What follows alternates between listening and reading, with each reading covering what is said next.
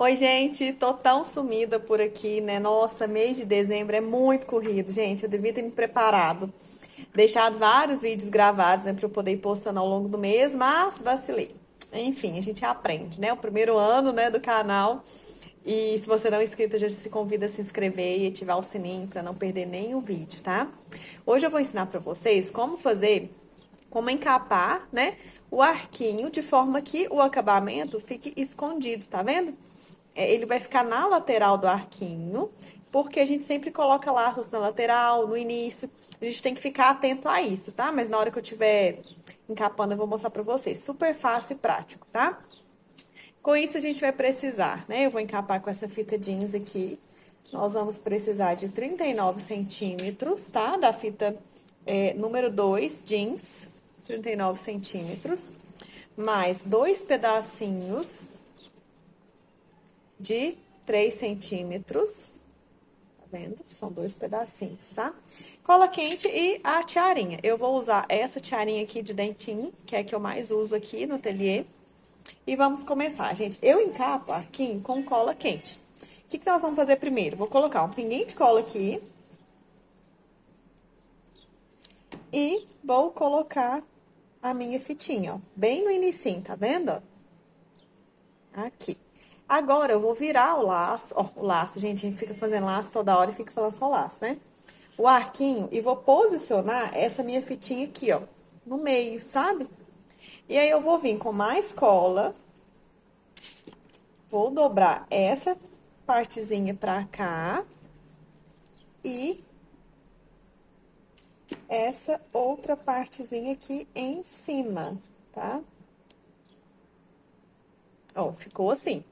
Então, do lado de cá não tem nenhum acabamento à mostra, tá vendo? Agora, eu venho com a minha cola e vou passando aqui ao longo do meu arquinho, da minha tiara, né? Aperto aqui pra ela ficar bem pressionada, tá? E sigo por todo o meu arquinho, até chegar na parte que termina o dentinho, tá, gente? Por quê? É lá que a gente vai fazer o nosso acabamento. E o que, que a gente tem que ficar atento nessa parte? Como vai ser a posição do seu laço? Por quê? A gente vai colocar o nosso laço em cima do acabamento, para que não fique aparente, né?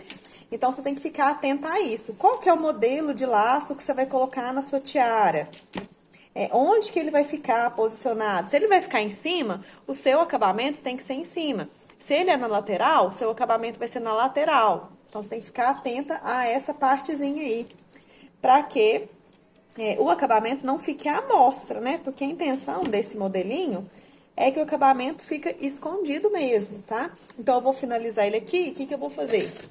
Vou cortar a minha fitinha bem onde termina aqui, ó. Que é onde eu vou precisar é, fazer o meu acabamento. Vou selar aqui né, com isqueiro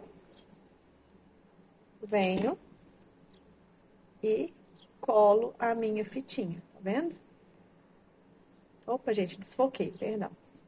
Vem e cola a minha fitinha, tá? Agora, volta aqui de novo na pontinha, coloco mais um pinguinho de cola,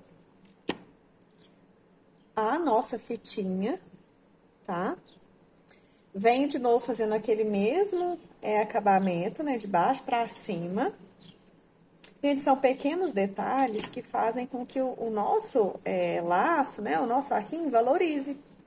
Em vez de você deixar as pontinhas, né, aparente, o acabamento à mostra, a gente faz isso e tampa tudo, ó.